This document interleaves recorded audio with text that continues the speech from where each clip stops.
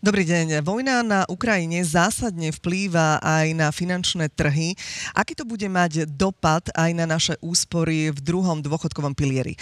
Na Slovensko prichádzajú vojnoví utečenci z Ukrajiny. O dočasné útočisko už požiadalo okolo 50 tisíc ľudí. Budeme mať pre nich aj prácu. O tom všetkom sa dnes budem rozprávať naozaj v zaujímavej diskusii s mojimi hostiami. Vítam ministra práce, sociálnych vecí a rodiny Milana Kraniaka. Dobrý deň, prajem. Pozvanie prijala aj generálna riaditeľka sekcie sociálneho poistenia dôchodkového sporenia na ministerstve, pani Jana Polakovičová-Kolesárová. Dobrý deň, ďakujem za pozvanie. Vítam Maroša Učiarika, predseda predstavenstva Partners Investments. Dobrý deň, prajem. Je s nami aj predseda predstavenstva Unika DSS Peter Socha. Dobrý deň. Rovnako aj predseda predstavenstva Alianc Slovenskej dôchodkovej správcovskej spoločnosti Miroslav Kotov. Dobrý deň.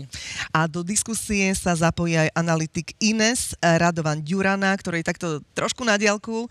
Verím, že na budúce uh, si dáme spolu aj rannú kávu. Dobrý deň, prajem. Dobrý deň, prajem. No pán minister, začneme naozaj veľmi, veľmi aktuálne, pretože na Slovensku je neobsadených podľa tých posledných informácií 80 tisíc pracovných miest. Čo mám teda posledné informácie, zatiaľ sa zamestnalo 360 utečencov, čo je pomerne málo. Uh-huh. Sú to teda aktuálne čísla, alebo uh-huh. už to vzrastlo? Najskôr možno začnem pre našich divákov také aktualizované dáta. Ja som si nechal vytiahnuť vlastne z dnešného rána alebo z 24.00 k včerajšiemu dňu. To znamená, aktuálne hranicami prešlo 269 tisíc ľudí, z toho, 20 tisí, e, z toho 104 tisíc detí, ale z nich požiadalo 47 tisíc o dočasné útočisko a z toho je 20 651 detí z toho vyše 4 tisíc e, detí je do troch rokov. Aktuálne e, máme zamestnaných 928 odídencov.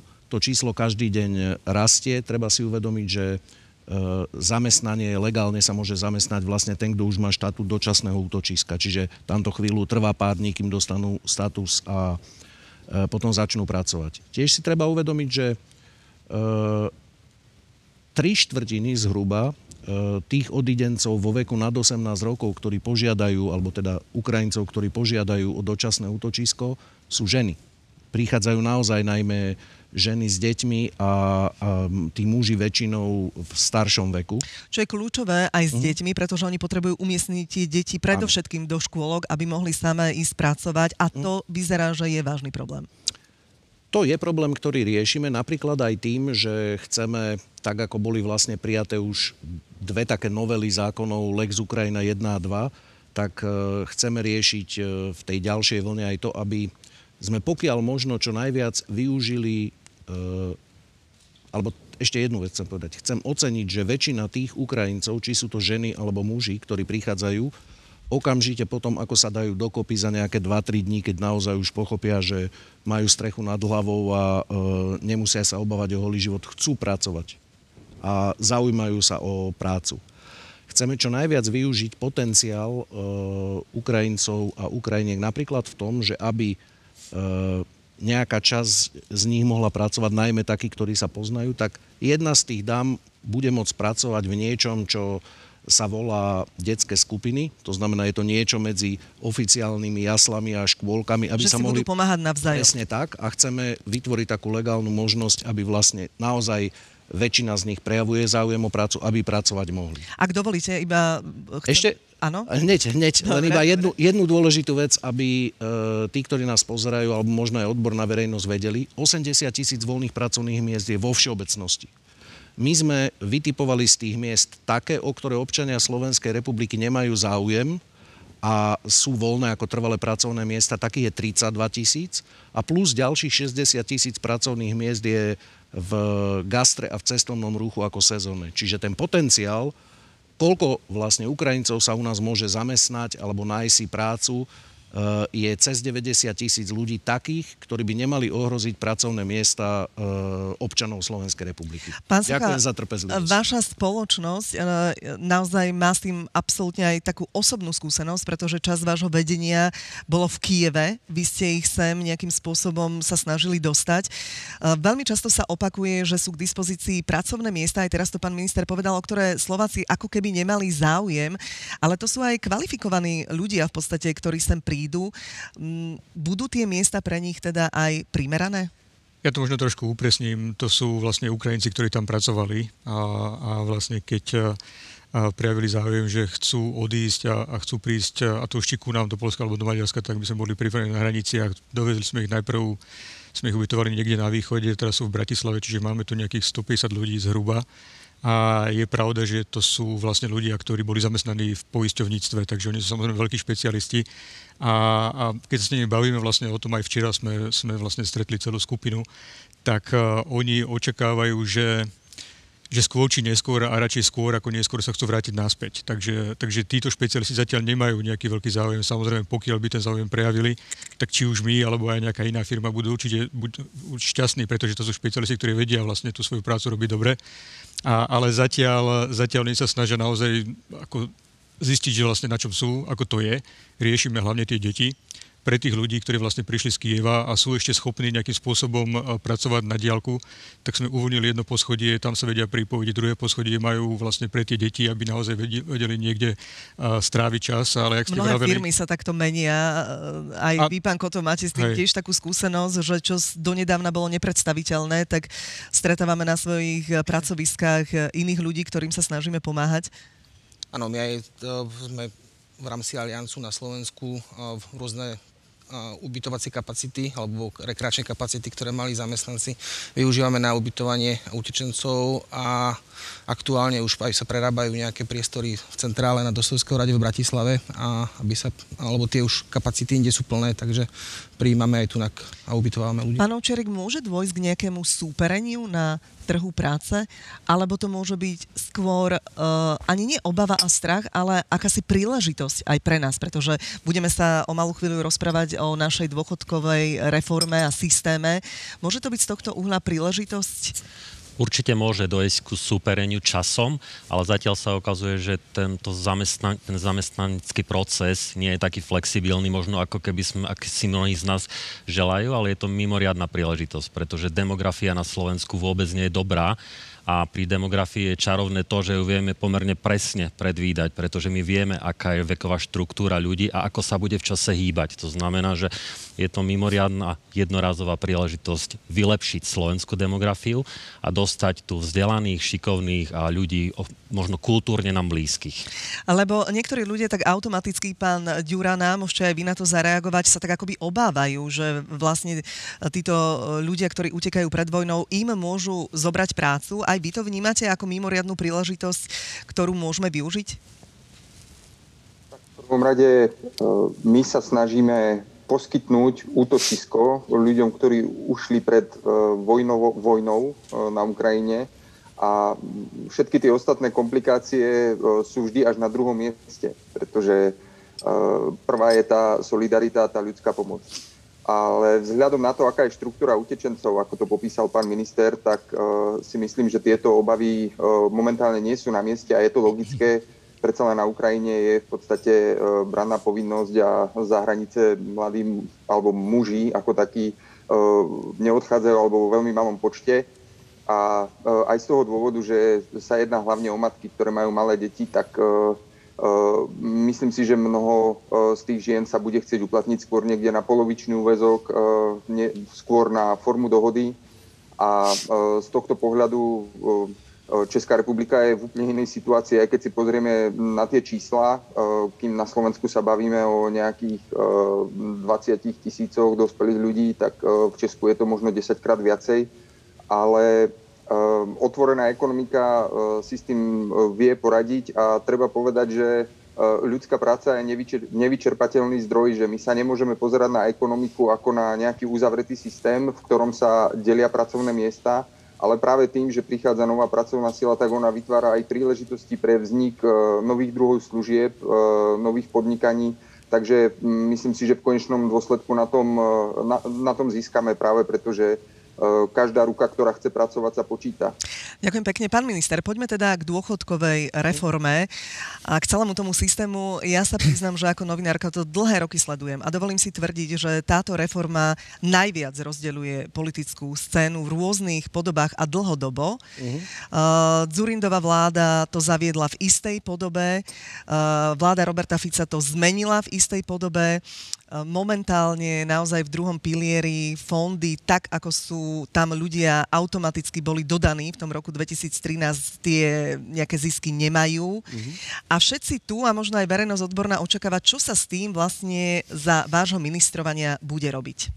No, najskôr si musíme povedať, že možno pred tými 15 rokmi, keď sa tento typ dôchodkovej reformy na Slovensku zavádzal, sme mali, a teda nehovorím len o sebe, ale o celej odbornej verejnosti, ale aj o občanoch, ilúzie o tom, ako to bude fungovať a slubovali sme si možno o to, že to bude akýsi univerzálny recept na vyriešenie e, dôchodkového systému z dlhodobého hľadiska. Myslím si, že to, čo sa vo svete v posledných rokoch deje, ukazuje na to, že e, tá, ja to volám, že taká západná expertná pícha, keď sme si trúfali predpokladať 50, 30, 70 rokov dopredu, ako by sa ten dôchodkový systém mal vyvíjať. A po pandémii a vojne na Ukrajine a takýchto veciach je to ilúzia. Takže ja si myslím, že by sme mali robiť veci v dôchodkovej reforme také, ktoré vylepšia prvý a druhý pilier, ale nemali by sme robiť nejaké zásadné seky v druhom pilieri, pretože nevieme predvídať, čo bude o 10 Čo to rokov. znamená zásadné steky? Čiže no, no vy osobne neplánujete? Napríklad ja osobne, ja osobne som známy po vyhodnotení toho, ako 15 rokov e, druhý pilier funguje tým, že som proti druhému pilieru. Keby som sa ja mal roz... Keby... Nie, nie, nie. Keby som sa mal rozhodovať, či ho zaviesť, keby sme sa vedeli vrátiť v čase, tak by som povedal, že nie. Dobre, ale je ale zavedený? uvedomujem, je zavedený. Ľudia sa slobodne rozhodli, že tam majú svoje úspory.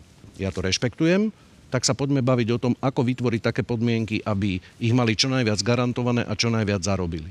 Druhá vec, ktorú musíme riešiť, je to, že máme zhruba cez 700 tisíc sporiteľov, ktorí neurobili žiadne rozhodnutie o tom, akým spôsobom v druhom pilieri chcú investovať. E, je to ich slobodné právo. Ja som jedným z nich, pretože môj dôvod, prečo som v druhom pilieri je, lebo chcem, ak by sa mi náhodou niečo stalo, tak aby moja rodina zdedila tie úspory, aby ich nezdedil, tak povediať, štát. Ale investičná stratégia každého sporiteľa je jeho slobodné rozhodnutie. Akurát máme tých 700 tisíc sporiteľov, ktorí preukázateľne nezarábajú. A my sme náchylní uvažovať o tom, aby po dohode všetkých zúčastnených e, sme urobili opatrenia, aby sme ich presunuli do tých síce rizikovejších, ale zarábajúcich fondov, napríklad indexových, s tým ale, že musí byť stanovený nejaký mechanizmus v tom čase pred dôchodkovým vekom, aby sme vedeli tým ľuďom garantovať, že ich nejaký výkyv na trhu neohrozí. Ak dovolíte, toto sú veľmi dôležité slova, možno aj teda pre vás, ktorí ste tu zúčastnení, lebo nevie sa o tom úplne presne. Pán Sucha, toto pre vás môže teda smerovať k tomu, že naozaj vláda sa rozhodne, že tých mladých ľudí presunie, teraz neviem, či automaticky pán minister, o tom sa môžeme rozprávať, uh-huh. do tých rizikovejších fondov a kvázi sa vrátime akoby do tej reformy z čias vlády Mikuláša Zurindu? To ako ja, nie. Tak jemne, jemne povedané, iba ak to môžem nejakým spôsobom uh porovnať e, vláda Roberta Fica a, a predtým, ako bola zavedená no, reforma. Ja, ja už e, ako strašne dlho rozprávam, myslím si, že veľmi konzistentne, že najväčší problém druhého piliera je práve to rozloženie majetku medzi fondami. Uh-huh. A, a napriek tomu, že DSS sa naozaj snažia komunikovať a snažia sa proste aj robiť nejaké kampane, tak proste a ľudia sú tam relatívne pasívni. Pán minister proste aktívne sa rozhodol, že, že, že, nechce, že nechce prestúpiť, fajn, ale, ale veľká väčšina je taká, ktorá proste a nejak, nejak to proste prejde okolo nich, asi to veľmi nevšimnú, napriek tomu, že sú stále oslovovaní a, a s týmto je otázka, či chceme alebo nechceme niečo robiť. Mm. Za mňa, a to je téma, kde podľa mňa máme zhodu, že by bolo dobré niečo, niečo urobiť, pretože ak to neurobíme, tak jednoducho nemá zmysel, aby tam oni 30-40 rokov boli a, a mali tam proste čistú nulu keď to, keď to potom spočítame. Takže toto presne je téma, o ktorej sa bavíme už roky. Ja som naozaj veľmi rád, že teraz tá debata vôbec je. A, a teda ako máme samozrejme očakávania, že, že nakoniec ako nájdeme nejaké riešenie, ktoré bude schodné pre všetkých. A keď ste sa že či áno, mladí ľudia majú byť vo fondoch, ktorí sú rizikové, ako jednoznačne áno. Hej, a teraz sa bavíme potom o tom, aký vlastne bude ten životný cyklus, cyklus nastavený, aby sme zabezpečili aj to, že už keď sa budú blížiť do chodku, aby to vlastne riziko klesalo a aby nakoniec nebolo žiadne. Takže toto presne je téma, ktorá za mňa má zmysel a budem sa veľmi tešiť, ak sa tam podarí e, nájsť to riešenie. Môžete to skúsiť upresniť, pán minister, uh-huh. teda, že ako by to vlastne vyzeralo, lebo neviem, či sú to pre vás úplne novinky, ale tie detaily ešte navrhované, detaily vy ani neviete, páni. Ešte, ešte nevedia, pretože ich predstavíme v priebehu apríla. E, v priebehu apríla dáme vlastne už náš návrh, o ktorom samozrejme sme pripravení diskutovať a vylepšovať ho, ale tie základné parametre viem povedať. Mal by sa týkať tých, ktorí neurobili sami žiadne vedomé rozhodnutie, mal by sa týkať toho, aby sa v priebehu niekoľkých rokov asi viem povedať, že zatiaľ predbežne uvažujeme o troch, štyroch, aby sa ich úspory postupne presúvali e, do, z, z garantovaných dlhopisových fondov do iných subjektov. A musíme sa baviť o tom, asi nie je takisto žiadne tajomstvo, že chceme e, nejakým spôsobom zadefinovať životný cyklus tejto novele druhého piliera, aby práve tí najmladší, e, pokiaľ sa nerozhodnú oni sami urobiť rozhodnutie, tak na expertnej úrovni dohodnúť vlastne, ako by sa ich investície v nejakých základných schémach mali pohybovať e, do toho obdobia, kým odídu do dôchodku. To sú celkom a... odvážne plány, pani. Vy ste sa, pán minister, dosť báli mimochodom automaticky presunúť týchto mladých ľudí. Ja ani nehovorím, že ich všetkých presuniem. fondov a ja sa... odrazu ste no. naozaj ako otvorení uh, týmto návrhom? Nie, ide o to, že uh, kto a za akých okolností to rozhodnutie má urobiť a o tom máme, o tom máme debatovať. A uh, ja sa na tú debatu teším, pretože pravdu povediac, to je tak zásadná vec, možno aby ľudia, ktorí nie sú v tom zainteresovaní, ak štát presunul do zlých fondov, na tom sa asi zhodneme, administratívne ľudí a tým prišli o nejaké zhodnotenie svojich úspor, má byť riešením, že znovu štát urobí rozhodnutie a presunie ich administratívne naspäť, keď nevieme, ako sa budú vyvíjať akciové trhy. Počas pandémie sa vyvíjali celkom dobre, dalo sa to predpokladať pred dvomi rokmi, Zatiaľ to tiež po, vo, po začiatku vojny na Ukrajine nie je žiadna katastrofa. Vieme, čo sa udeje o tri týždne? Dobre, tak Doma to si to rozmeniť na drobné. Pán Kotov, toto je pre vás zaujímavá informácia, s ktorou by teda ministerstvo prišlo? Určite áno. Ako aj kolega spomínal, pre nás e, sú dve témy kľúčové, ktoré znižujú potenciál výnosov v druhom pilieri pre sporiteľov. Prvé je to spomínané rozloženie úspor a druhý je samotný garančný mechanizmus, ku ktorému sa potom asi možno ešte dostaneme. Presun úspor Áno, mal by tým, že to štát spravil v 2013, tak tých pasívnych sporiteľov, ktorí neurobili aktívne rozhodnutie odvtedy, by mal nejakým spôsobom vrátiť naspäť a do toho mechanizmu presunu ako nič múdrejšie nevymyslíme ako rozloženie v čase, pretože pokiaľ aj príde k nejakým prepadom, videli sme to či po finančnej kríze, či pri pandémii, či teraz pri Ukrajine, jednoducho trhy sa vždy v nejakom čase vrátia naspäť, zotavia sa a keď to budeme robiť takto postupne, tak sa vyhneme tomu riziku, že práve po nejakom veľkom presune príde k prepadu trhov. Čiže nič rozumnejšie nevymyslíme, s týmto tiež súhlasíme. A čo sa týka toho rozloženia zodpovednosti, tak tá zodpovednosť by mala byť rozložená medzi všetky tri subjekty podľa nás, to znamená medzi sporiteľa, štát a DSS-ku. A kombináciou týchto troch e, faktorov by sa, by sa mal vymyslieť mechanizmus, aby k tomu presunu došlo. Aj podľa vás, pán Ovčarik, je lepšie, keď si mladí nebudú sporiť v tých garantovaných fondoch, ktorých momentálne sú? Pre mladých nie je nič lepšie ako akciové a indexové fondy, pretože mladí majú jeden väč- veľ- veľký luxus a to je desiatky rokov sporenia v druhom pilieri. A na finančných trhoch a kapitálových trhoch fungujú spolahlivo taký pojem, ako je dlhodobý rastový trend. To znamená, že pokiaľ niekto investuje do akcií, tak v zásade ani pandémia, ani vojna v tom dlhom horizonte nemá na ňo veľký vplyv. To znamená, že pre mladých určite by malo byť defaultne nastavené, to znamená prednastavená stratégia automaticky do indexových a akciových fondov.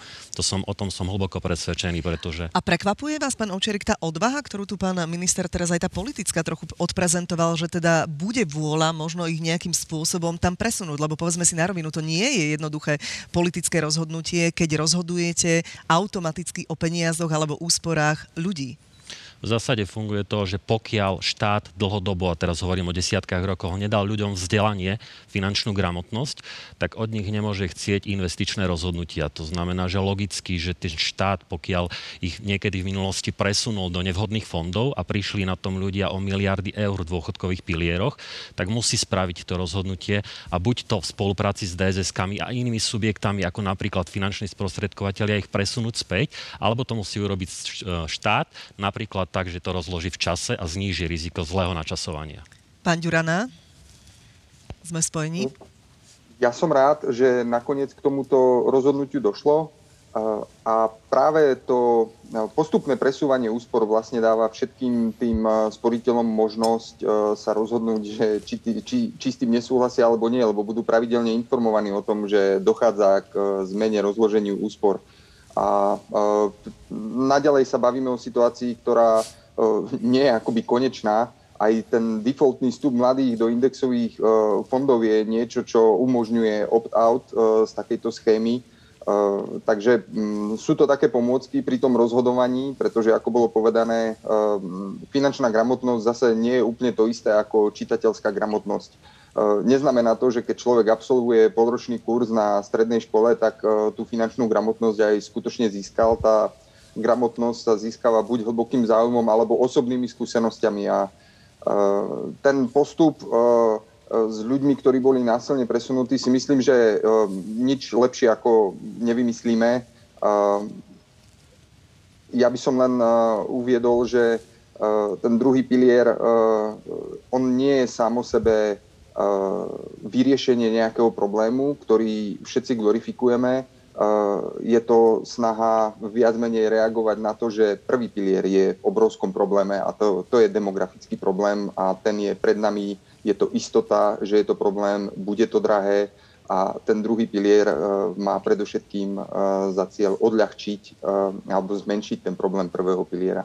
Presne tak, ale pán minister, ak dovolíte, máme tu aj túto dámu, ktorú veľmi chcem tiež zapojiť do diskusie. Máme čas, takže ak dovolíte, pani Kolesárová, skúste odpovedať aj na tú otázku, že odporcovia druhého piliera vždy kričia, keď fondy padnú.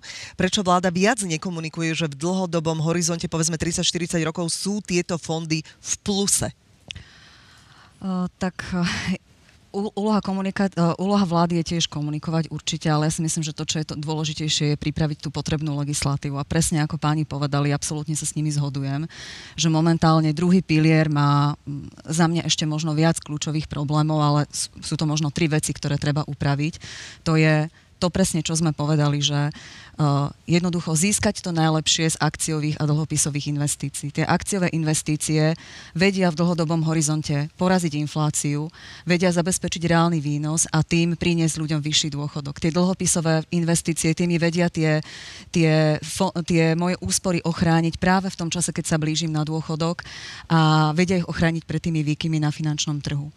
Ďalšia ale dôležitá vec je, že uh, druhý pilier na to, aby mal význam pre štát, tak je tak, tak proste potrebujem, aby celá populácia, ktorá, ktorá proste je aktívna ekonomicky, tak v tomto systéme bola zapojená.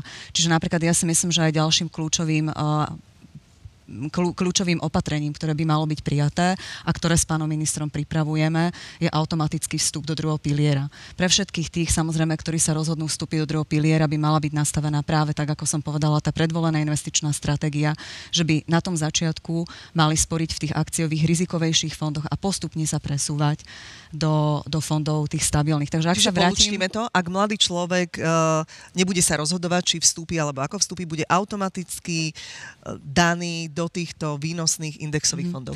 Hej, ale ak sa teda vrátim k tej otázke, že tá komunikácia je určite dôležitá, ale zjavne všetci vidíme, že nikoho veľmi nepresvieča, pretože ja si myslím, že aj dôchodkové správcovské spoločnosti aktívne komunikujú so svojimi sporiteľmi a snažia sa ich upozorniť na to, že ich úspory nie sú rozložené optimálne.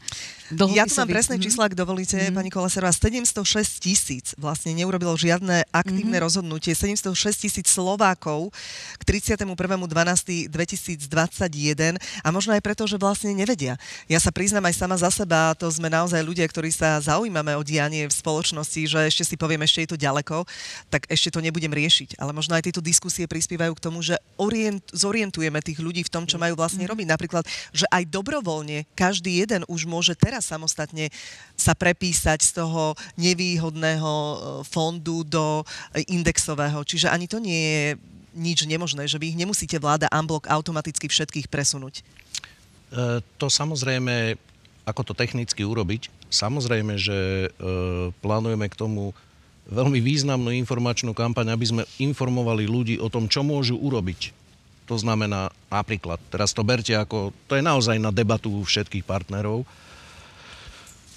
napríklad, že neurobil si žiadne rozhodnutie, E, bol prijatý takýto zákon. V prípade, ak nemeníš robiť žiadne rozhodnutie, myslíme si, že pre teba je najlepšie takáto a takáto stratégia. E, v prípade, ak neurobíš rozhodnutie ani v najbližšom nejakom období, tak by sme urobili toto.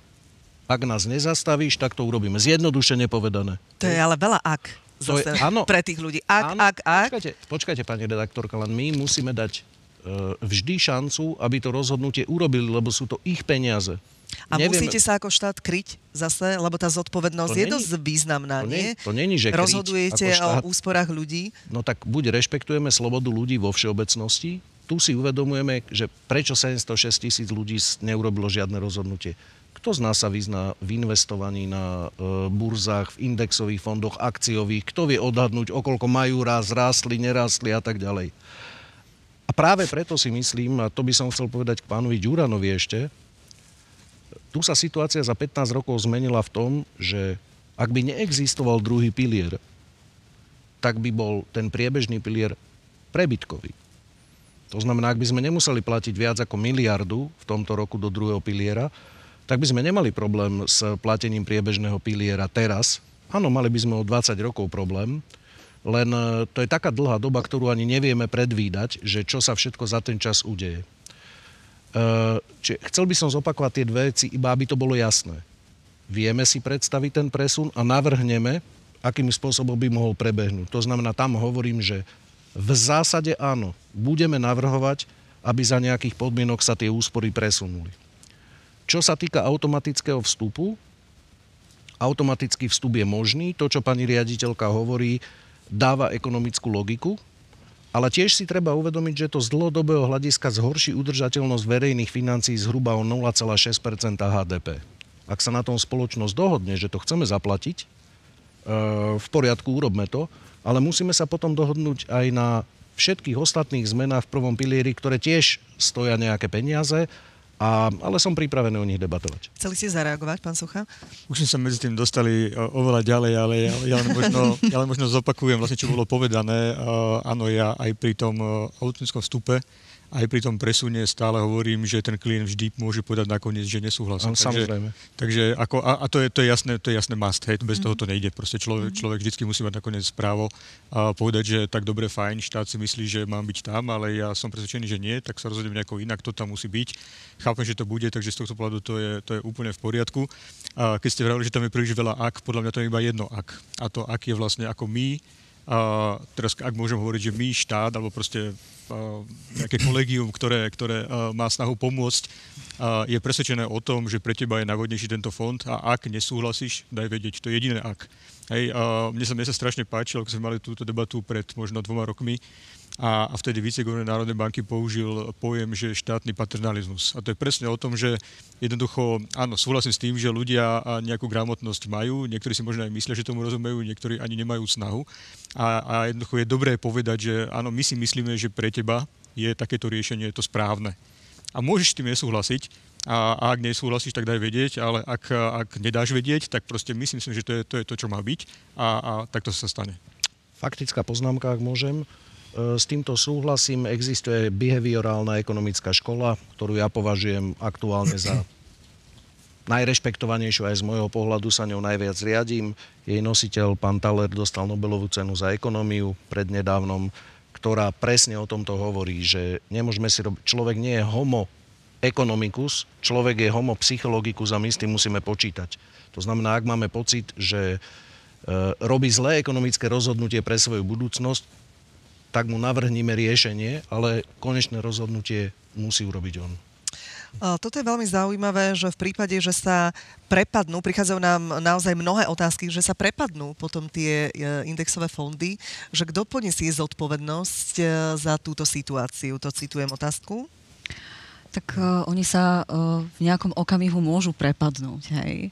Tak ako vidíme, že napríklad od začiatku roku 2022 tak dochádza aj v dlhopisových, aj v tých uh, indexových a akciových fondoch k záporným výnosom, ale napríklad od ruskej invázie na Ukrajinu práve v tých akciových a indexových fondoch dochádza k rastom. Boli tam, boli tam uh, uh, kladné výnosy.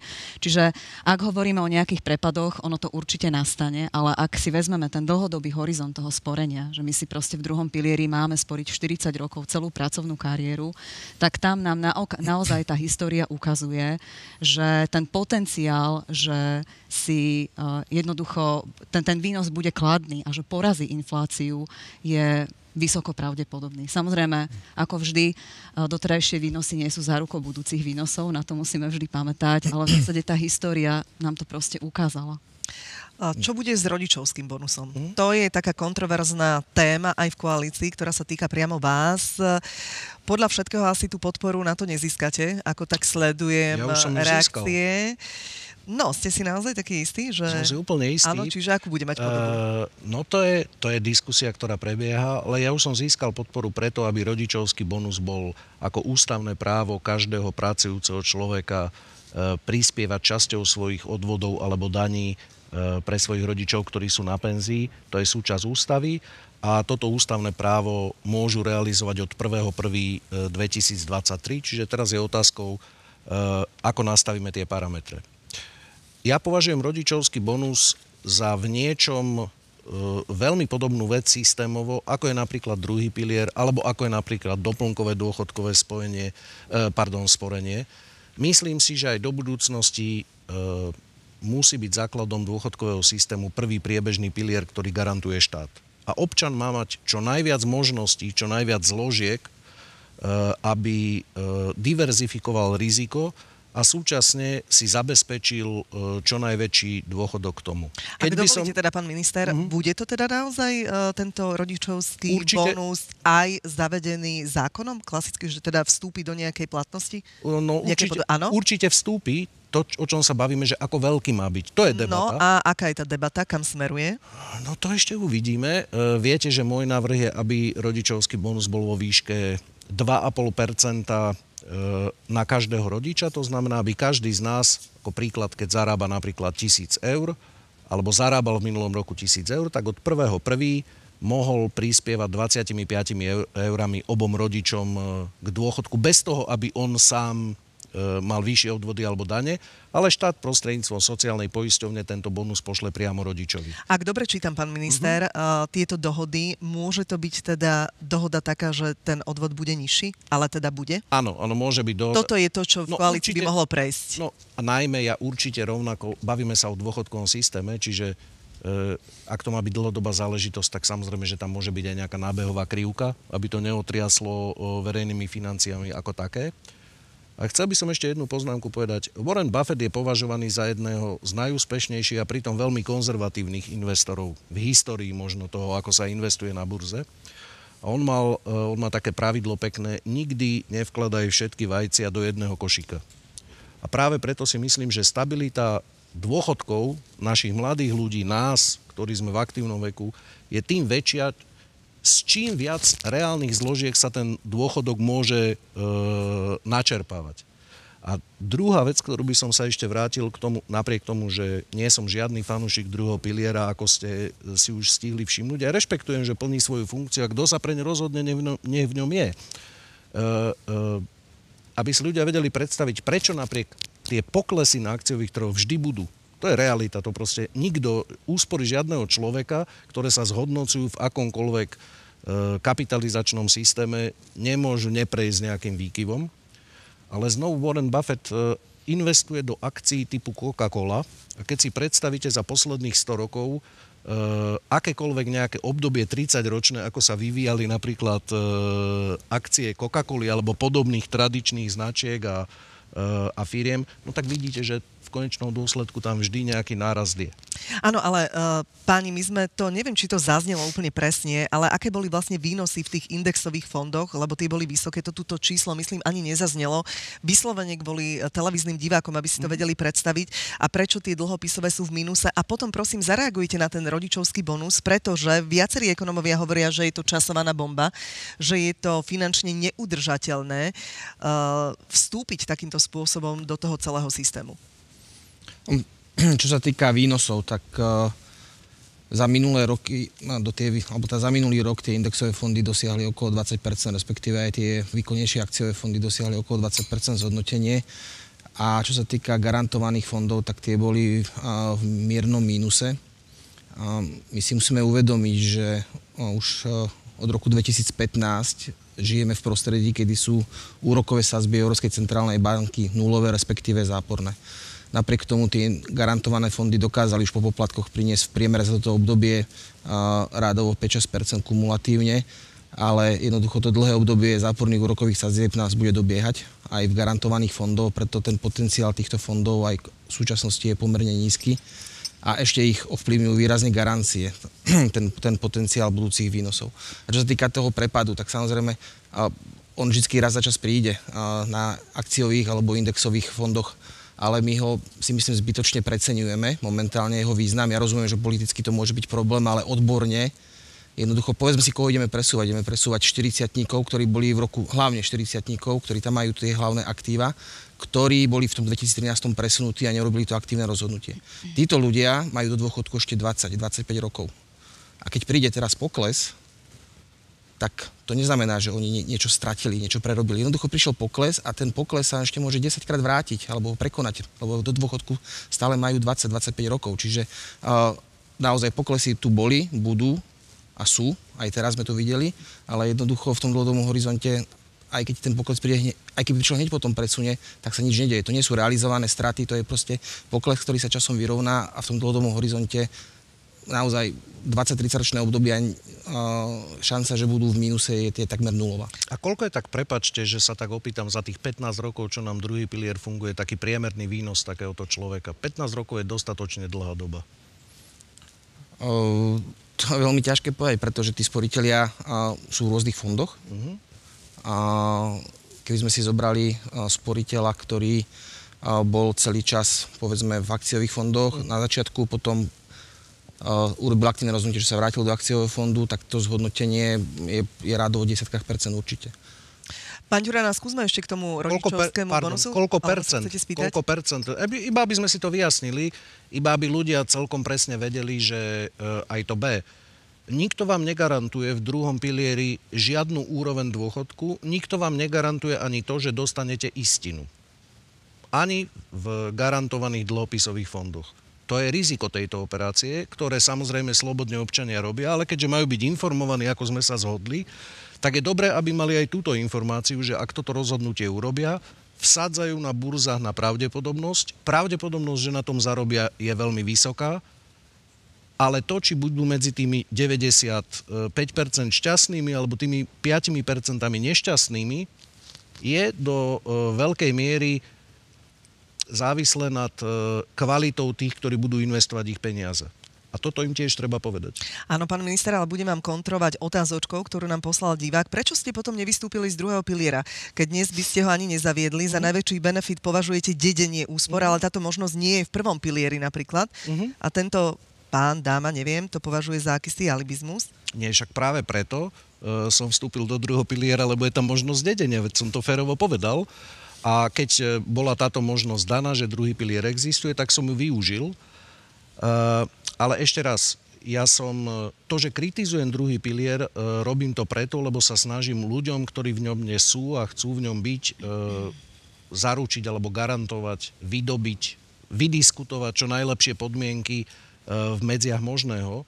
Nikomu nechceme, ani, ani môjim záujmom nie je zrušenie druhého piliera teraz, ale baviť sa o tom, koľko percent by malo byť povinných do druhého piliera, aké garancie majú e, fondy dávať, aké poplatky môžu vyberať, to si myslím, že je úplne legitimná debata kdekoľvek na svete. A túto debatu určite v súvislosti s tou novelou e, zákona o druhom pilieri, ktorá v apríli bude predstavená, určite budeme viesť. Určite sú to aj to legitimné bude otázky. jadrná debata. Určite áno, pretože naozaj vidím to aj na tých otázkach, je ich veľké množstvo. Skúste zareagovať, aby sme sa mohli posunúť aj k tomu rodičovskému bonusu, sa nevieme stále dostať, aby sme to nejak uzavreli, lebo tých tém je naozaj veľmi veľa. Vy ste už Ale- povedali, pán Pani minister. redaktorka, pani, pani kolegyňa, e, pani riaditeľka Polakovičová, ktorú ja považujem za odborníčku, plní takú zaujímavú funkciu, že my sa hádame už dva roky o dôchodkovej reforme a ja som vďačný za to, že máme aj vnútornú oponentúru, to znamená, že možno by vedela spochybniť aj to, čo som povedal a ja si myslím, že vzhľadom na skúsenosti, ktoré má, možno by vás zaujala jej argumentácia Čiže proti tomu, vy, čo som vy povedal. nesúhlasíte s tým rodičovským bonusom, ak tomu mám A- tak rozumieť. Tak uh, tí kritici, ktorí kritizovali rodičovský bonus, ho kritizovali kvôli financiám, že stojí veľa, systém je neudržateľný. Ja by som toto považovala za taký podružný, nechcem dehonestovať tento argument, ale nie je ten kľúčový. Z môjho pohľadu, ja ako niekto, kto gestoruje sociálne poistenie a vníma jeho históriu, prečo bolo zavedené, tak mne to úplne neladí. Akoby filozoficky so sociálnym poistením. Lebo sociálne poistenie je tu na to, aby proste celá populácia vzájomne solidarizovala, chorí so zdravými, uh, tí, ktorí nemajú prácu s tými, kto- tí, ktorí majú prácu s tými, ktorí ju nemajú. A v tých dôchodkoch napríklad ja osobne si myslím, že práve tí, ktorí sú zraniteľní, sú tí, ktorí sú osamelí. Nie tí, ktorí majú deti, pretože tie ich deti ich vedia financovať, tak ako my bežne prispievame svojim rodičom každý mesiac, štvrťročne proste nejakými, nejakými financiami, ktorými pomáhame uh, prežiť uh, dôstojne tú starobu. Tak ja to vnímam tak, že práve tí, ktorí sú osamelí a tie deti nemajú tú pomoc napríklad potrebujú. A Potom... A čo pán minister, ako šéf vám na to hovorí, že vy teda ako riaditeľka aj takéto dôležitej sekcie s tým nesúhlasíte? No čo mi hovorí, tak pán minister je presvedčený o svojom názore. A vy ho odradzate?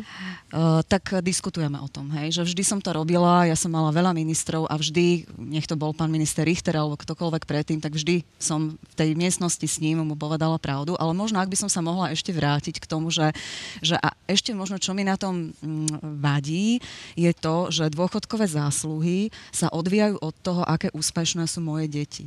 Hej, že keď sú tak stredne úspešné, že robia na Slovensku, tak vlastne budem mať ten príjem ako, ako, ako ten dôchodca. Keď sú veľmi úspešné a robia v zahraničí, tak vlastne mám smolu. Keď sú to policajti, vojaci, tiež mám smolu, lebo tiež nedostanem rodičovský bonus. A vlastne keď sú nezamestnaní, alebo sú postihnutí, alebo ich vôbec nemám, tak vlastne tiež nič nedostanem. Čiže niečo by to a teraz, chcelo... opa- a teraz opačne, ak dovolíte, pretože takéto debaty vedieme interne, ale e, som rád, nech tie argumenty Mm. na zváženie e, zaznejú aj verejne. Máme tu 816 tisíc dôchodcov aktuálne, ktorí obetovali svoj čas, energiu tomu, aby s láskou vychovali svoje deti, najmä mamičky. A e, tieto mamičky za to, že s láskou vychovali svoje deti, z ktoré, ktoré platia dôchodky všetkým, aj tých, o ktorých pani riaditeľka spomínala, samozrejme, že osamelým a ďalším, sú za to trestaní súčasným dôchodkovým systémom. Ja si nemyslím, že mami, ktoré vychovali deti, majú byť na dôchodku zvýhodňované oproti bezdetným dôchodcom. Ale momentálne sú trestané. Napríklad taká mamička, ktorá vychovala dve deti, bude od budúceho roka, keď nastúpi ako novodôchodkynia, ukrátená v porovnaní s tou bezdetnou sumou 80 eur mesačne. Dobre, A to ďakujem, pán nefér, minister. Čo musíme Uh, odstrániť. Ako k tomu rodičovskému bonusu prídu ľudia, čo nemohli mať napríklad Mhm. deti, to je strašne nefér, tuto píše jeden, ale chcem sa uh, fokusovať na tieto otázky, lebo ich je Mhm. naozaj veľa a keď sme v takejto zostave, tak skúsme na ne veľmi rýchlo odpovedať. Sú v druhom pilieri, pán Socha, garantované peniaze, ktoré do neho sporiteľ navkladá? Pomenej sa hovorí aj o treťom pilieri, k tomu sa ešte aj dostaneme. Komu odporúčate do neho vstúpiť? Pán minister to povedal jasne a ja sa nebudem tváriť, že tam nejaké garancie sú, oni tam naozaj nie sú. Čiže ak my odporúčame uh, ľuďom, aby začali sporiť v aktívnych fondoch, to znamená či už akciový alebo indexový, tak uh, jednoducho sú, sú to investori tým pádom, povedzme si to otvorene. A, ale sú tam práve preto, aby sme z toho systému naozaj zobrali tú podstatu, aby sme naozaj dokázali zarobiť peniaze. A, a dobre, môžeme sa potom baviť o tom, že, že či chceme fond, ktorý má oveľa viac výkyvov, čo sú v princípe indexové fondy, pretože tí sa spravujú trošku inak ako, ako tie akciové, ktoré riadíme aktívne. A tam vieme kľudne nakúpiť Coca-Coly a podobne. Čiže to je presne ako naozaj o tom, o tom manažerovi potom, aby, aby to riadil správne. Takže, takže garancie v druhom pilieri nie sú, aby sme ani nikdy nehovorili. A, a takisto vždycky, ako my máme ten disclaimer, keď máme nejakú reklamu, že tie, tie výnosy, ktoré boli v minulosti, nezabez, nezabez, nezabezpečujú, že budú aj v budúcnosti. Takže, a, takže tam to len potvrdzujem, čo bolo povedané. A, a komu odporúčam, no každému, hej, a čím skôr. Čiže či už je to druhý pilier, kde to možno bude automatické, čo je super, ale takisto tiež som presvedčený o tom, že, že prvý a druhý fajn, ale to nestačí. Čiže potom máme tretí a potom všetko ostatné, čo voláme nejaký, nejaký štvrtý, ale, ale samozrejme čím viac tých, tých vajíčok tom košíku bude, tým lepšie. A čím skôr sa začne, tiež tým lepšie, pretože tam naozaj krásne potom ten čas pracuje v prospech toho, toho človeka. Pán Ďurana, to sme ešte nehovorili o historickej inflácii, ktorú momentálne máme, ktorá rovnako veľmi zásadne vplýva aj na úspory. Ako to ovplyvní naše úspory v druhom pilieri? Eh, ja, ak dovolíte, ja by som sa predsa len ešte trošku vrátil aj k tomu rodičovskému bonusu, lebo dostal som tú otázku, ale eh, pán minister eh, skočil, vlastne už som bol nadýchnutý, tak ja len poviem, že ja dúfam, že sa podarí dohodnúť, že ten rodičovský bonus nebude tak drahý, pretože hm, my máme v prvom pilieri veľký problém. Tvárime sa, že do neho ide 18%, v skutočnosti tam ide 25% a Eh, prvý pilier nie je garantovaný ničím, je garantovaný 26. len schopnosťou štátu vybrať Myslím, viac daní a viac odvodov. To znamená, že keď my sa dostaneme do, za 20 rokov presne do tej situácie, že budeme mať málo prispievateľov a veľa poberateľov, tak jediný spôsob, ako garantovať výplatu dôchodkov je, že štát zoberie viacej daní a viacej odvodov. A prvý pilier je, eh, ako vravím, 25% eh, je pomerne vysoká suma, ktorú tam poistenci musia odvádzať. Čo sa týka inflácie, tak tá je pochopiteľne problém aj pre prvý, aj pre druhý pilier a bude sa, jej dopady budú závisieť od toho, či sa podarí dosiahnuť reálny rast miest alebo nepodarí. Tá inflácia ale nie je rovnaká po celom svete. Nie všetky krajiny majú takú infláciu a druhý pilier má tú výhodu, že niektoré tie veci, tento rast inflácie môže kompenzovať vyššími výnosmi v iných krajinách čo prvý pilier nedokáže. Eh, pokiaľ nebudú rásť na Slovensku mzdy dostatočne, tak pochopiteľne klesne aj eh, reálna hodnota vyplácaného dôchodku. Inflácia je problém, znamená to nejaké ekonomické oslabenie a budeme na to doplácať všetci a je našim cieľom, alebo všetkých by malo byť cieľom žiť v takej ekonomike, kde centrálne banky nevplývajú uh, tak intenzívne na výnosnosť uh, aj na akciových alebo dlhopisových trhoch, kde nevplývajú na hodnotu peňazí a kde slobodná výmena zabezpečuje uh, reálny rast bohatstva. Pán Očerik, ak dovolíte iba, pán minister, ešte sú tu ďalšie otázky a naozaj množstvo, množstvo ich prichádza, takže skúsme ich tak trošku kratšie zodpovedať. Dôležitou výhodou druhého piliera je aj dedičnosť. Prečo sa o tejto výhode nehovorí? Môžeme to tu možno trošku viacej rozobrať? Myslím si, že sa hovorí pri ľuďoch, ktorí, ktorí sú v procese rozhodovania, tak tento moment, tento faktor je mimoriadne dôležitý v tom vstupe. Je to určitá forma aj životnej poistky. To znamená, že tento faktor je vítaný a je silný stimul. Ja sa možno dvoma, troma vetami vrátim pri indexových akciových fondoch, pri tých, ktoré my nazývame, alebo ktoré, ktoré sa volajú rizikové, nie je riziko toho, že kolíšu. Tam je istota toho, že kolíšu, mm-hmm. ale na druhej strane tá istota kolísania hra v prospech ľudí, ktorí sú tam dostatočne dlho. To znamená, že, že preto je mimoriadne dôležité a kľúčové, aby ľudia boli práve, tí mladí ľudia boli práve v akciách, ktoré, ktoré dlhodobo zarábajú najviac.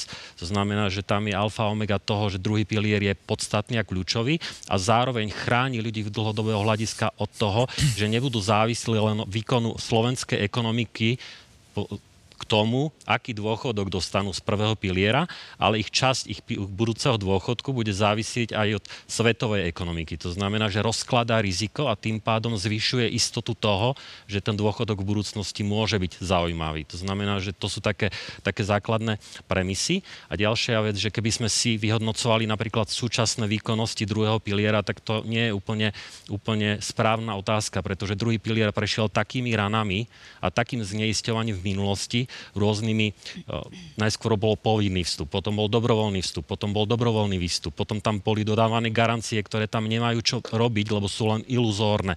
Nechránia úspory ľudí voči inflácii. To znamená, že garantovať, že dnes vložím 10 eur a o 10 rokov tam budem mať tých istých 10 eur pri inflácii, ktorá tu je prítomná každý jeden rok, je, je podľa môjho názoru chorý prvok toho systému. To znamená, že nič nerobí, len vlastne bráni DSS kam k tomu, aby vytvorili tie produkty atraktívne pre ľudí. Aby špekulovali s majetkom klientov a tým pádom mali možnosť aj prerobiť. E, iba aby sme si to dopovedali.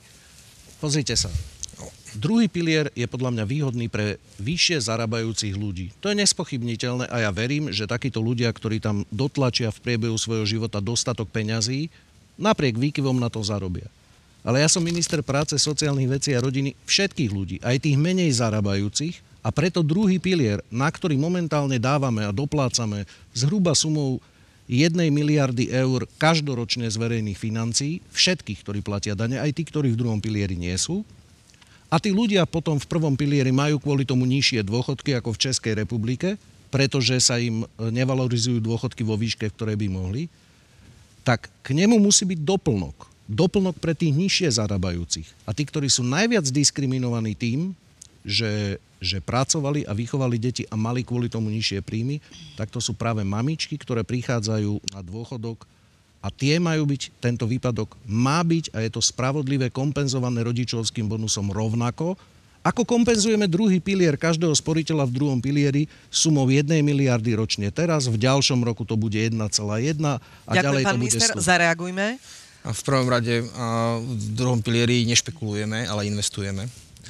To, je, to je podľa mňa rozdiel. A druhý pilier, Na burze. Druhý pilier druhý, áno, na burze sa investuje a môže sa aj špekulovať, a, ale my investujeme. A druhý pilier nevytvára deficity, on ich len presúva z budúcnosti do súčasnosti. To si musíme uvedomiť. Počkajte, To sú- to sú- počkajte, tá miliarda, ktorú posielame všetci do druhého piliera na budúce dôchodky súčasných sporiteľov, ako k tomu prídu tí ľudia, ktorí sú teraz dôchodcovia a ktorí kvôli tomu majú nižšie dôchodky? Veď od začiatku druhého piliera jedným z dôsledkov bolo, že sa dôchodky nevali, ne, v prvom pilieri nevalorizujú tak, ako by sa mohli. Povedzme si to otvorene. My by sme mohli každému človeku, ktorý momentálne poberá dôchodok, veľmi slušne mesačne, desiatky eur by mohol dostať navyše, keby sme nefinancovali druhý pilier. A vy hovoríte, že to iba presúvame, ale pre tých ľudí, ktorí sú dnes na dôchodku, to nepresúvame. My ukracujeme tých ľudí, ktorí dnes majú dôchodok a ja to chcem aspoň trochu kompenzovať rodičovským bonusom, lebo je to fér. A vy nepoviete, že my to kompenzujeme tým, ktorí sú v druhom pilieri, ktorí budú dostávať dôchodok o 10 rokov. A tí, ktorí nás vychovali, našich rodičov a starých rodičov, ktorí sú teraz na penzii, tých kompenzujeme ako? Tých kompenzujeme negatívne sumou 1 miliardy eur ročne. Aj o tom hovoríme, lebo aj to je férová realita, e, ktorú by sme mali zohľadniť. Pán minister je očividne negatívne naladený na ten druhý pilier. Skúste zareagovať, pani, aby sme sa dostali, dostali ďalej. Aj vy si to myslíte? Čo konkrétne? E, Toto, čo hovoril e, pán minister, že ten druhý pilier teda e, nie je úplne optimálne ani nastavený e, v celom tom systéme a všetko, čo tu No, bolo no. povedané okolo, e, že ani nie je veľmi asi vhodné tam byť. No určite si to nemyslím. Ja si myslím, že uh, ak ho máme, máme ho garantovaný ústavou, hej, na to, aby sme ho zrušili vôbec celkovo musí byť ústavná väčšina sa na tom zhodnúť, ale my sme mali vyvinúť maximálne úsilie na odbornej aj politickej úrovni vyriešiť tieto problémy, ktoré sme tu dnes riešili, aby si teda ľudia sporili naozaj fo- vo fondoch, v ktorých majú potenciál a tak by pre štát mal význam, ako som povedala, povinný automatický vstup. Proste buď ten systém bude taký, ako má, má byť, proste uh, pre všetkých, pre celú populáciu, alebo z môjho pohľadu potom nevidím v ňom význam držať taký systém, ktorý naozaj vytvára transformačné náklady a Ale zaujímavé je, že pán minister vlastne dal zelenú tomu automatickému vstupu, hoci potom, eh, no tak povedali ste tu na Povedal že je som, to že návrh, že to že nevylučujete, že to ale teda, že to ani neodmietate. A Čo je podľa mňa veľmi dôležité, a neviem, či to úplne zaznelo, treba povedať, že to teraz nepôjde tak, ak by sa aj toto schválilo, že automaticky všetci idú do tých indexových e, fondov, tam bude určite nejaký strop, kedy potom tí ľudia s pribúdajúcimi rokmi pôjdu asi do Áno. tých garantovaných. Možno Áno. toto treba naozaj vysvetliť, lebo to je veľmi citlivé, aby sa ľudia nezlakli, že teraz e, všetkých chceme zase niekde dať a nebudeme mať tú istotu. V istom veku pred dôchodkom sa jednoducho tí ľudia zase tak pokojne možno vrátia do tých garantovaných fondov. Je to Áno, tak? jedna vec, keď nastúpite na trh práce a teraz vôjdete do toho druhého piliera, tak vy budete automaticky zaradená do tej predvolenej investičnej stratégie. do Musíme tej, to polúčtiť, Dobre, lebo aby tomu ľudia a, do rozumeli. tých akciových alebo indexových fondov. Hej? Ale vy budete mať možnosť sa z toho vyviazať. Budete mať nejaký termín, nejakú lehotu, kedy si poviete, že nie, ja chcem byť v dlhopisových fondoch. Čiže toto je prvá vec. A uh, teraz mi A vypadlo... druhá vec, kedykoľvek, Áno, a kedykoľvek potom- až do dôchodku môžete urobiť akékoľvek slobodné rozhodnutie. Presne tak. A Nikto potom vás ničomu určitým nenúti. vekom tie vaše investície postupne, ak budete v tých akciových a indexových fondoch, vám zo zákona bude dôchodková správcovská spoločnosť presúvať do tých bezpečných prístavov a to sú tie dlhopisové investície. A to je vlastne tá podstata, hej. Čiže keď sa bavíme o tom, ako je klient chránený, tak áno, my chceme, aby kým je mladý a mal ešte veľa rokov pred sebou, bol v tých fondoch, kde je naozaj ten potenciál zarábania najväčší, ale postupne, ako sa blíži do dôchodku, tak sa tu proste ten, tá jeho tá, tá časť, ktorá je v akciách alebo v indexe, bude postupne znižovať, až nakoniec sa dostane na nulu. Čiže toto je presne tiež e, súčasťou vlastne toho, čo by mal štát vlastne tomu klientovi povedať, milý klient, pre teba je toto najlepšie. Ako za mňa je otázka, samozrejme, a neviem, ako to tam bude navrhnuté, že či toto už bude povinné, alebo tiež bude mať klient možno povedať, že ale ja si stále myslím, že proste chcem byť v akciách a bude tam až do konca. To neviem, či tam bude taká možnosť, Môže ale som, ale ja, ja len dokončím ešte, ale som za to, aby bolo nastavené naozaj ten systém taký, že tomu klientovi hovoríme, ako, mal by si bať, mal by si byť najprv tam, potom tam, potom tam, hej, aby pokiaľ znovu ten klient bude, uh, povedzme, pasívny, tak nech proste príde tým systémom tak, ako ho navrhujeme. Takže to je za mňa, to je za mňa ako, tak, ako by to malo byť. A vy ste vravili, že pán minister povedal, že, že, že vlastne uh, nie je dobré byť v druhom pilieri, ale to som nepočul. Takže, Nie, nie, nie. Hej, hej. Nie, nie, to som To som- akože tak zľahčila, jasné, že jasné. nie je to- pozitívne naladený, ale zase nechceme to Nie. tak zneisťovať samozrejme ľudí, ale aj z tej diskusii vyplýva, hoci je v druhom pilieri, to treba povedať, že nie je teda veľký priateľ druhého Presne piliera. tak. Nie som veľký priateľ druhého piliera, ale som rád, pán Socha, že ste to povedali. Ja rešpektujem slobodu a právo každého človeka si ho zvoliť a preto si myslím, že má byť súčasťou systému a každý, kto sa tak rozhodne, nech, nech v ňom je. A keď už v ňom ľudia sú, čo pomerne dosť našich občanov tam je, no tak samozrejme, že je úlohou štátu regulovať to a garantovať pokiaľ možno čo najväčšie istoty za čo najväčších výnosov. A to je tá debata, že ako to máme urobiť. To, čo ste spomenuli teraz, že či napriek tej predvolebnej stratégii by mal mať možnosť byť až do konca v akciových, je to na diskusie, ale ja vám hovorím, že myslím si, že nie. Pretože čo keď sa ten človek e, 5 minút predtým, než pôjde na penziu, rozhodne naozaj zle a príde o všetky úspory. To by sa Čiže- mohlo stať, To súhlasím. by sa mohlo stať, to znamená, ale toto sú tie veci, kde si myslím, že môže byť odborná debata. To, na čo ja upozorňujem, je, že aby ľudia brali druhý pilier ako jednu z možností, ktorú nepochybne veľa ľudí využíva, využilo, majú mať slobodu e, tam byť alebo nebyť, podľa toho, ako sa rozhodnú, a majú mať slobodu e,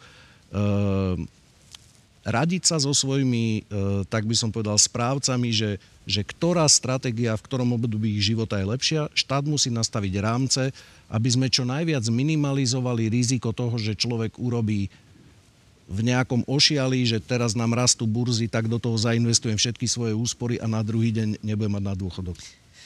Tak, Ja pomaličky dovolíte, budeme... ja by som ešte uh, pripomenul, pretože uh, zazneli tu niektoré veci, na ktoré nedokázala ani uh, pani Kolesárova odpovedať, uh, pretože sa na to reaguje veľmi ťažko. To také zjednodušenie, že my teraz dôchodcom berieme jednu miliardu, ktorú by sme im mohli vyplatiť na dôchodkoch a mohli by mať vyššie dôchodky. Uh, to uh, je veľmi zjednodušujúce a zavádzajúce tvrdenie. Pretože druhý pilier robí to, že zase za 20 rokov, keď tí sporiteľia pôjdu do dôchodku, tak oni znížia výdavky prvého piliera. To bude presne situácia, keď bude o mnoho menej prispievateľov, o mnoho viacej poberateľov a miesto toho, aby za tých 20 rokov tí dôchodcovia zo svojho dôchodku platili daň tak ako je to napríklad v Dánsku 33%, tak oni ju nebudú musieť platiť práve vďaka tomu, že tam bude dostatok prostriedkov, lebo sporiteľia budú dostávať nižší dôchodok z prvého piliera. Takže je veľmi jednoduché povedať, že my teraz niekomu berieme, ale to, že zase za 20 rokov niekomu budeme dávať, tak to už sa nespomenie. Ten druhý pilier, aj dôchodkový systém, to je 60-ročný e, beh, ktorý e, každý pracujúci človek aj dôchodca prežíva a my sa naň vždy musíme pozerať e, z pohľadu dlhodobých transferov a nikdy nie krátkodobých.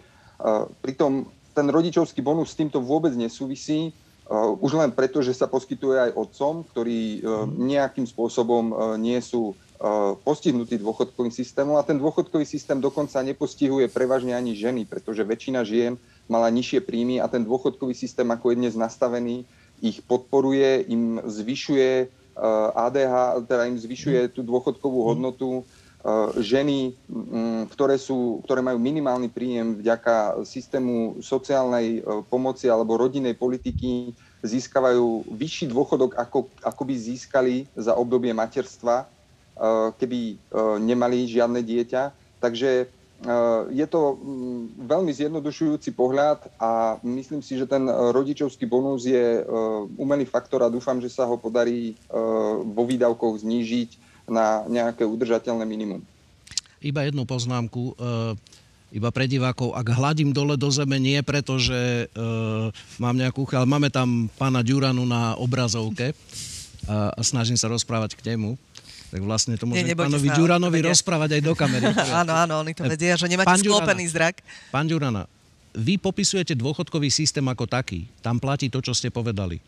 Akurát ten problém je v tom, že ja zastupujem konkrétnych ľudí, ktorí sú dnes na penzii a tých prvých 20 rokov, o ktorých hovoríte, oni kvôli tomu majú o tú 1 miliardu nižší dôchodok, tak v poriadku, keď to štát chce odfinancovať, nech to financuje z nejakých iných peňazí. Neviem, kde by ich zobral, lebo SPP, ktoré sme predávali a tie sa použili prvé 3 roky na vykrytie druhého piliera, ale respektíve prvého piliera, pretože tie peniaze odchádzali, tie už nemáme. To znamená, to je realita, že ten vyše milión dôchodcov, ktorí dnes poberajú e, dôchodky z prvého piliera, má nižšie dôchodky o 1 miliardu ročne. To je realita. Kvôli druhému pilieru. Ak chcete zareagovať, nech sa páči, ale naozaj pomaličky budeme končiť. Ešte sú tu zo pár zaujímavých otázok, ktoré by som chcela položiť. Takže ja som sa preto spýtal, lebo nie, neúplne tomu presne rozumiem.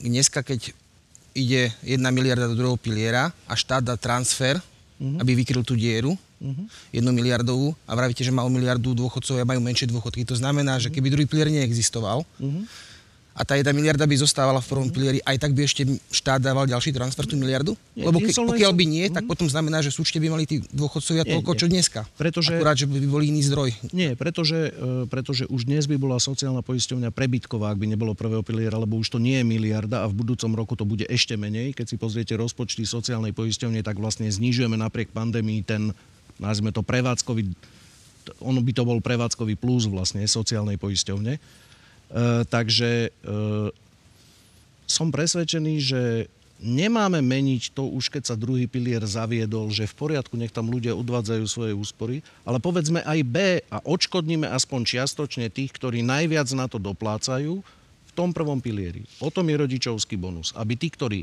sú najviac diskriminovaní iba kvôli tomu, že vychovávajú deti, ktoré financujú náš dôchodkový systém. Tí sú najviac diskriminovaní. Však to je podľa mňa zverské a absurdné, že tí, ktorí sa najviac zaslúžili o to, že dnes máme z čoho platiť dôchodky, pretože vychovali svoje deti, ktoré na Slovensku pracujú, tie sú tým najviac diskriminovaní. Pán Socha, uh, je možné do druhého piliera vložiť aj vyššiu sumu a to jednorázovo? Z dôvodu dedičnosti v tom vidím zmysel. To je tiež zaujímavá otázka. A... Ako druhý pilier samozrejme má umožnené dobrovoľné príspevky, takže ako v princípe sa to dá. A má to nejaké opodstatnenie podľa vás? E, ja by som to nerobila. Z hľadiska možno dede... skôr do tretieho pilieru. Nie, nie, nie. Z hľadiska dedenie nemá, pretože predsa aj keby tie peniaze mal človek no, na účte, tak by jeho príbuzní ich zdedili. Tu ide o to, že ak štát vyžaduje povinne, že nejakú časť e, dávame aj do druhého piliera, ak sa tak rozhodneme, tak v tom je to výhodné, že keby sme všetko dali do sociálnej poisťovne, tam nezdedí nič človek, ale v druhom pilieri zdedí. V tom je tá výhoda. Prav, pravdou je samozrejme, že teraz e, nemáme tam nejaké obrovské množstvo ľudí, ktorí by prispievali, ale pravdou je, že máme ľudí, ktorí prispievajú a tých dôvodov je viac. Niektorí možno boli zamestnaní, teraz možno nie sú a oni sa aktívne pýtajú, či môžu pokračovať e, v platení napríklad a to platia dobrovoľne. Alebo samozrejme, keďže druhý pilier a, a boli spomenuté poplatky, je naozaj, je naozaj manažovaný, keď sa bavíme o tom poplatku za správu, veľmi, veľmi lacno teraz neriešime poplatku za, za výkonnosť, tak niektorí si možno hovoria, že to je aj dobrá šanca ako naozaj investovať eh, vo fonde, ktorý proste funguje, ukazuje výsledky. A, takže, takže áno, je tam mix eh, vlastne motivácií. Um, nie je toho tak veľa, ako sa možno nevedia, očakávalo, ale to je ako možno sa dá tiež ako asi debatovať. Ale áno, ako hovorí pán Socha, je tam tá možnosť s tým, že ten druhý pilier je veľmi poplatkovo dobre nastavený, tie poplatky sú nízke. Len si treba uvedomiť, a preto by som to ja neurobila, že tie dobrovoľné príspevky sa potom môžu vyplatiť až dovršením dôchodkového veku. Hej? A to mne príde neflexibilné. Takže uh, asi by som tie peniaze vložila niekde inám v rámci 3. 4. piliera, kde by som mala väčšiu flexibilitu. Aj toto je možno vec, nad ktorou by sme mohli pouvažovať, že ako s tými dobrovoľnými príspevkami nakladať, či ich naozaj vyplácať až dovršením dôchodkového veku alebo prípadne v nejakej situácii skôr. Tak, čo otázka, to otvorenie novej témy, je to neuveriteľné. Ja sama som prekvapená teda aj, aký záujem toto vyvolalo a možno naozaj je na mieste viac takýchto odborných diskusí. Ja som veľmi rada, že Markiza teda s takou prišla a verím, že sa nevidíme posledný krát. Pán Ďurana, vy ste chceli ešte zareagovať, keďže ste tu neboli takto s nami priamo, lebo budeme musieť končiť, tak nech sa páči. Ja mm, by som len tak zhrnul svoj postoj, že budem veľmi rád, ak e, dôjde k týmto plánovaným zmenám v druhom pilieri. E, zároveň budem rád, ak sa podarí zachovať jeho dôležitú vlastnosť a výhodnú vlastnosť, a to je možnosť programového výberu pre ľudí, ktorí majú dostatočne vysoké pravidelné dôchodkové príjmy a pevne verím, že správcovia našich úspor budú robiť len to najlepšie pre naše úspory, pretože je to skutočne dôležitá súčasť dôchodkového zabezpečenia. Ďakujem vám veľmi pekne aj vám, že ste prijali pozvanie, dáma a páni. Verím, že sa stretneme aj na budúce. Všetko dobré, pekný deň vám prajem. Pekný deň a pekný, pekný víkend. Ďakujem. Dovidenia. Dovidenia.